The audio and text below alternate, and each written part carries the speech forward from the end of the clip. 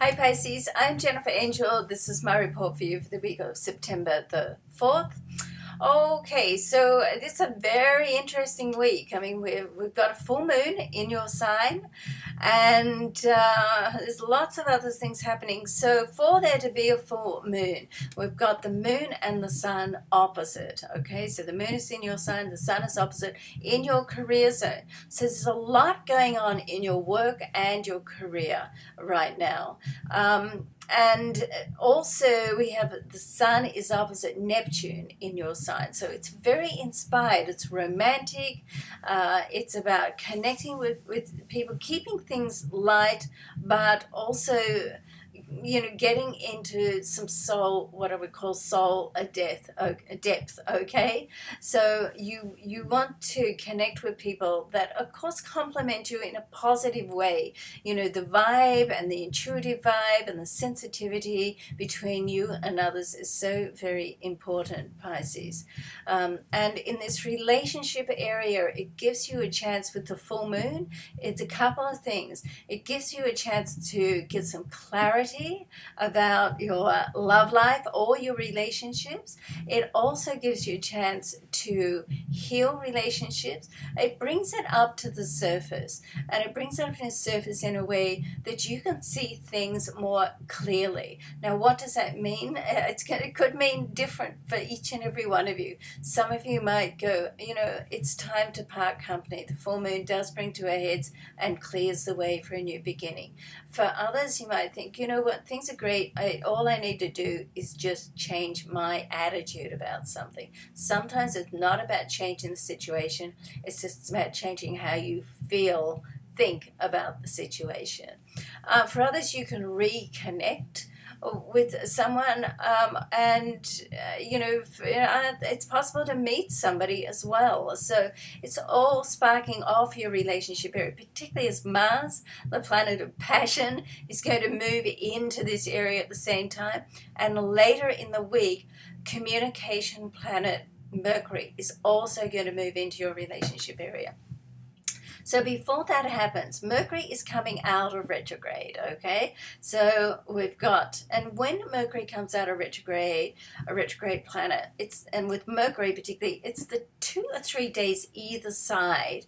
Uh, some astrologers will, astrologers will say five to seven. To me, it's like that two or three days either side, which can be the most disruptive.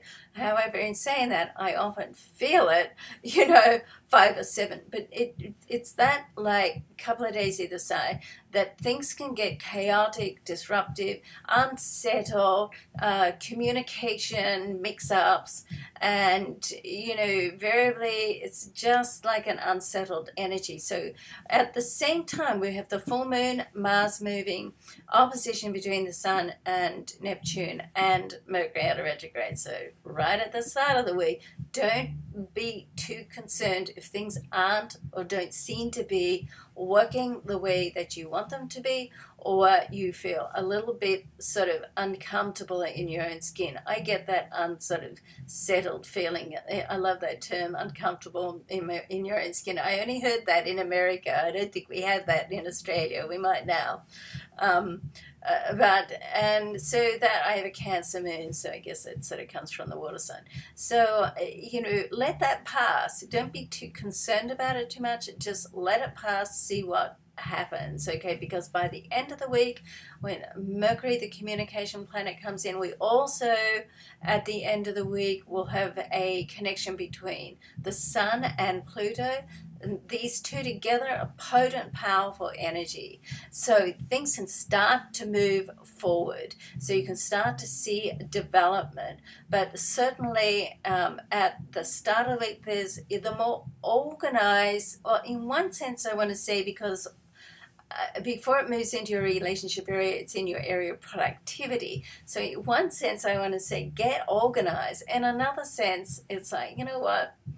Um, it probably doesn't matter how organized you are anyway because things can change okay so you want to keep your schedule get organized but keep your schedule a little flexible if you work in the film industry you'll probably know the film industry's term hurry up and wait. it was in Australia anyway. Okay, so um, things are, it's developing. I do have a great vibe about this week, and because as things like finally come out of that Mercury retrograde and start to move forward, then that has a really good vibe about it. Okay. Now, the card that I've selected for you John Holland's Psychic Tarot pack, my favorite pack at the moment anyway, is Spiritual Union. Okay, so, and that two, I love the two at the top because the two is like a number of harmony. It's the number of um, settling together. It's ruled by Venus in the horoscope. We've got like the cup there coming together and growth. So, you know, as I said, with the full moon, it can, it can, you know, give you clarity, bring you together it can also, you know, you can also make a conscious decision to pull apart. But either way, it's going to give you um, a union in some way. Okay. All right. So thanks so much for watching. Please go on to jenniferangel.com, subscribe to my newsletter. I would really appreciate that. Thanks so much. Bye.